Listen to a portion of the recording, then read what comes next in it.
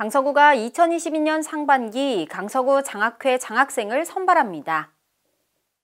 선발 인원은 고등학생 25명과 대학생 32명, 총 57명으로 1년 이상 강서구에 거주하고 있는 고등학생이나 대학교 재학생이면 신청할 수 있습니다. 장학생은 구민 한마음, 모범, 특기, 소액 등 4개 분야별로 선발하며 고등학생의 경우 학교장 추천을, 대학생의 경우 거주지 동장의 추천을 받아야 합니다. 국가나 지방자치단체, 타 재단 및 학교로부터 학비 또는 장학금을 전액 지원받거나 학점은행제, 방송통신대학, 사이버대학에 재학 중인 학생은 신청할 수 없습니다. 신청은 오는 4월 8일까지며 강서구 장학회 사무국에 방문 또는 우편으로 신청서와 관련 서류를 제출하면 됩니다.